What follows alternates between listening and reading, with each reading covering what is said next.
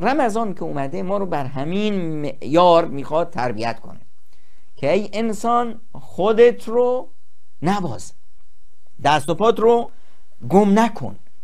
و پیامبر اکرم صلی الله علیه وسلم اصلا شیوه تربیتی پیامبر همین بود. حتی خود پیامبر اکرم صلی الله علیه وسلم خداوند متعال فرشته ای برای پیامبر فرستاد که در دست اون کلید خزائن دنیا بود. که ای پیغمبر چی می‌خوای؟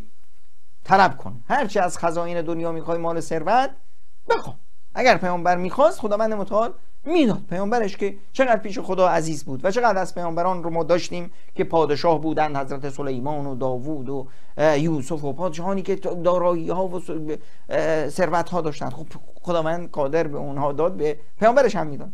پیامبر اکرم صلی الله علیه و رو نپسندید. گفتن نه. من می‌خوام که شیوه زندگیم کفاف باشه. که روزی گرسنه باشم قدر نعمت بدونم و صبر کنم تواضع کنم فروتنی کنم. یه روز سیر بشم شکر نعمت به جا بیارم و ارزش نعمت رو بدونم. یعنی یک حالت نرمال شخصیتی که این خیلی مهم هست که ما همچنین حالتی رو داشته باشیم. الان احیانا میاد چی میشه؟ ما در فضای نعمت ها و صحت و سلامتی قدرش رو گم می‌کنیم. دارایی و مال و ثروت ارزش و قدر نعمت رو نمی‌دونیم. خودمون رو گم می‌کنیم. دست و پامون رو میبازیم. اینجاست که رمضان میاد تا یک نوع توازنی رو در زندگی ما برقرار کنه. یک نوع احساس امنیت و آرامش. احساس امنیت و آرامشی که وقتی که دارایی به دست من می‌رسه تقیان نکنم.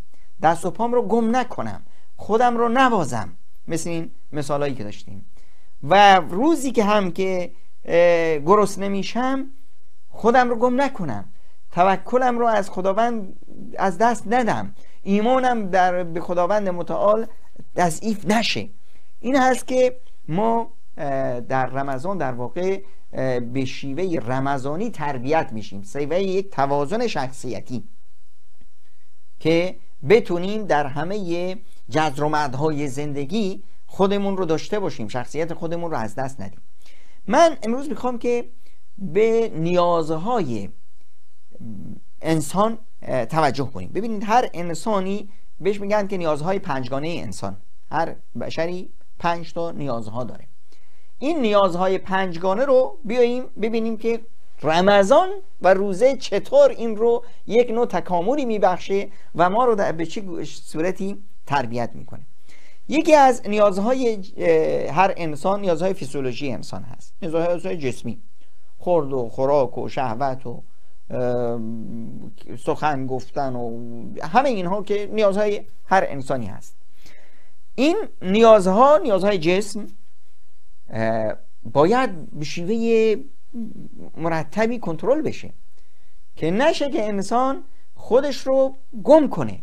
و الان شما می‌بینید در کشورهای مختلف حتی اونجایی که اسلام اصلا مسلمون نیستن. یه چیزی رو کشف کردن به نام روز درمانی. الان ما در کشورهای مختلف روز درمانی رو داریم. در بین غیر مسلمون ها و این رو هم باید بدونیم که روزه مال مسلمون ها نیست. کتب علیکم الصیام کما کتب علی الذین من قبلکم. روزه مال بشریته. همونطوره که تمام بشریت در طول تاریخ روزه می‌گرفتن و باید می‌گرفتن شما مسلمون ها هم باید بگیرید. حالا بعضی از بشر یادشون رفته گم کردن الان دارن بهش می‌رسن خب اون مشکل اوناست. پس باید یک نوع توازنی باشه در نیازهای جسمانی انسان که اگر این نیازها از حد خودش گذشت انفجار به بار میاره. یعنی یک ماشینی شما دارید ماشین نیاز به چی داره؟ نیاز به بنزین داره. اما این بنزین باید یک مسیر خاصی رو طی بکنه.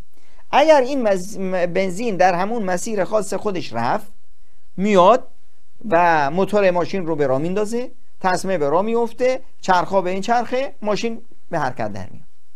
اما اگر همین بنزین از اون مسیر خودش خارج شد خب بیرون اومد مسیر خودش رو نرفت چه اتفاقی میفته؟ با یک جرقه این ماشین منفجر میشه و پودر میشه. پرخوری مصدر چقدر از بیماری هاست؟ کمخوری و ضعف تغذیه غذایی کمبود تغذیه بعض مصدر خیلی از بیماری هاست. پس اینجا باید یک حالت نرمالی باشه. شهوت های حیوانی که در انسان هست اگر مسیر خودش رو طی کرد تداوم نسل بشری میشه و حالت ملائکی به خودش می‌گیره. اما اگر حالت خودش رو مسیر خودش رو از دست بیبندوباری فساد فحشا ایدز و هزار و یک بیماری در جامعه و در افراد سبز میشه. پس این یک حالتی است که میاییم ببینیم که رمضان میاد ما این رو درس میده. این حاجت و نیازی که در هر جسم هست برای هر بشر هست رمضان رو ببین این رو چطور کنترل می‌کنه. که آقا همه شهوت های جسمانی و نیاز بشری در طول روزه ممنوع. و در اوقاتی که هم اجازه هست می‌بینید که در اونجا به صورت کنترل شده ای و این روحانیت انسان که بالا میره نیازش به مادیات و غذای زمینی پایین میاد بیشتر به از غذای روحانی اشباع میشه. خب یکی دیگه از نیازهای هر انسانی نیاز وابستگی است. نیاز محبت.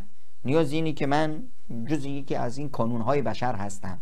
شما می‌بینید افراد خودشون رو همیشه میچسبونند. به یک قبیله به یک فامیلی به یک جماعت و حزب و گروه سیاسی دینی یا فکری ایدولوژی به یک نمی‌دونم کشوری. خب؟ یک نوع انتما و وابستگی رو برای خودشون می‌سازن. چون این نیاز بشر هست که همچین بشر احساس نکنه که تنهاست توی این دنیا. طبیعت خلقت الهی که بشر حالت اجتماعی خلق شده. خب. الان ببینید همین نیاز رو رمضان چطور در ما پررنگش می‌کنه.